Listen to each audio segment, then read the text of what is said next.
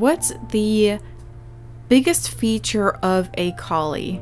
It's usually not the eyes, it's really more of that big fluffy fur that's happening. So when it comes to these eyes, they're just very small. There's not a lot of detail in there, but you still kind of want to make sure that they are nice and detailed as much as possible. So what I try to do is leave room for the highlights and then just move on to the rest of the features, which includes the around the eyes and then kind of going into the ears next. There's a lot of sporadic fur movement happening, especially in the ears. So I just kind of try to incorporate some orange tones, some light ivory colors, and then some brown in there and kind of make this like fan, almost firework effect happening. And then as I build up layers and smooth it all out using that mineral spirit oil, I'm able to apply a little bit more detail afterwards. So I'm leaving a little bit of some room in the middle for more of that highlighted kind of fur that's happening, the little stray hairs that you can see. And then I use the slice tool to kind of etch in more of those stray hair details.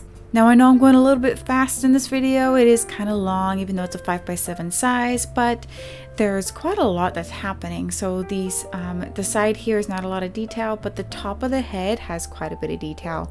And I'm incorporating a variety, once again, of the same colors, but making sure I'm using that firework effect of kind of going up and out in both directions. Still the same thing for the muzzle area and then applying that mineral spirits just to kind of get more of a smoother blend.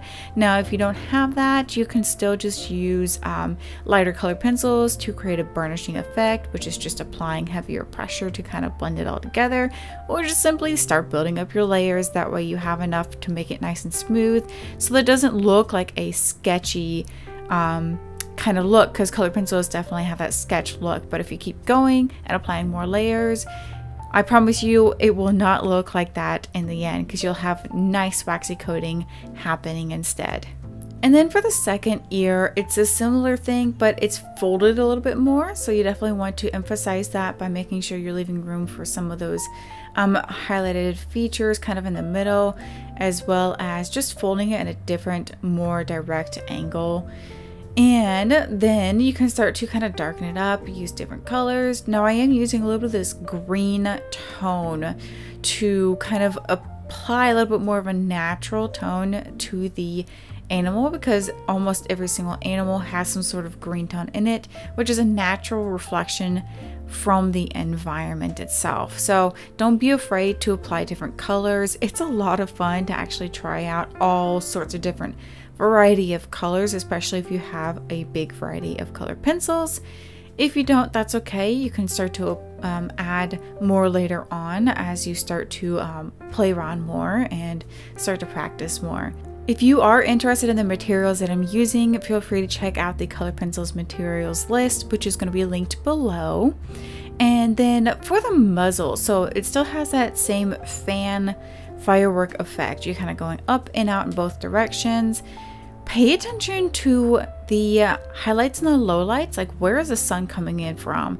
Is it lighter on the top? Is it lighter on the side? What's happening? So, you definitely want to make sure that you're using lighter pressure with lighter color pencils in the highlighted areas and then start to kind of work your way into the darker areas using darker colors and heavier pressure. To be honest with you, I really wasn't enjoying how it was turning out, but in the end I was able to kind of save it by going back and applying different kind of colors and more saturation. So with the nose here, I definitely wanted to make it blended. That way I can apply some more details and some more highlighted features. Most noses and nostrils are really similar, but no two nostril sides are the same. So if it looks like even pretty much it's not. They're they're never even so that is okay if they don't look even at all. But you do want to apply a little bit of color in there so I did apply some um, some burnt sienna colors. Now the mouth itself I always have a difficult time with tongs they always look so weird just not very uh, natural to me. You're gonna see in the end you may think it looks natural but for me because I'm the artist, of course, I'm going to be uh, more critical of myself. It just didn't turn out the way that I wanted it to. But that's okay because the more I practice, the better I will get.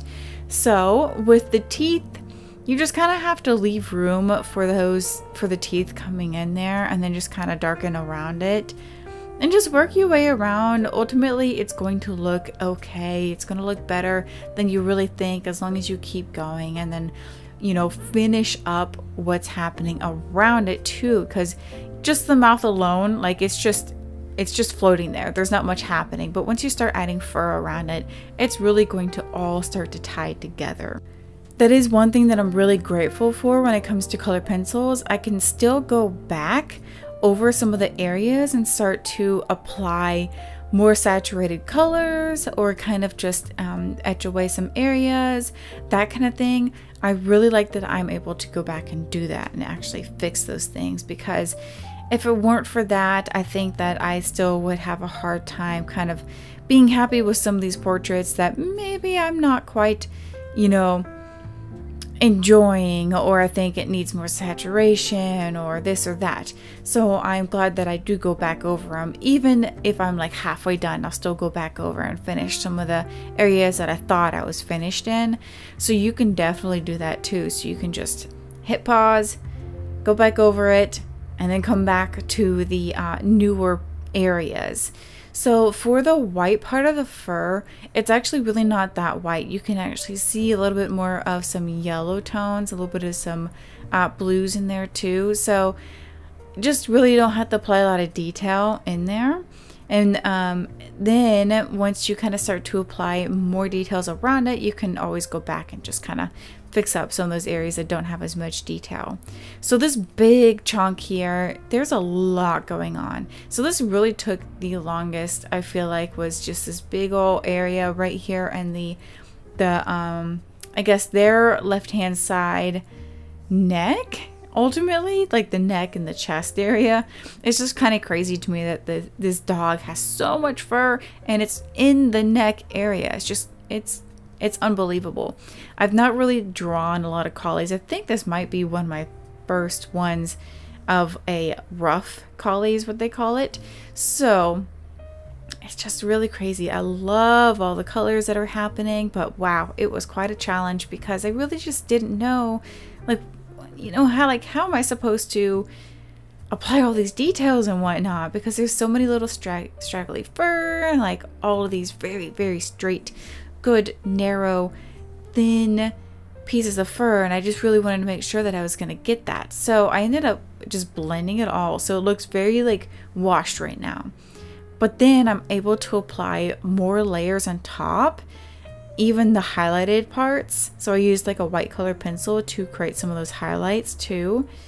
And then as I started to apply more of the um, highlights and the lowlights, it really started to turn out and look really good in the end. And I also used the slice tool, which also helps to kind of create some of those stray hairs. If you're interested in those kind of materials, you can still check out the materials list below. And then don't forget, if you do want to learn to draw your own pet portraits, feel free to check out the pet portrait program that I have. It's also linked below. It's eight weeks long. It's super in depth. If you want to find out more information, check out that link. So I'm applying a lot more of the stray hairs at this point, just really getting in all those details. I'm even using a little bit of a black color pencil to do so. I don't really like using the black pencil until it's pretty much one of my last steps or last resort really just because it's such a flat color that I just don't think it really applies all too much unless it's in super dark areas like the eyes, the nose, the mouth, and then sometimes in the hair. But really ultimately I don't use it in the hair unless it's a black dog. And then I'll I'll still end up using that as more of my last uh, resort.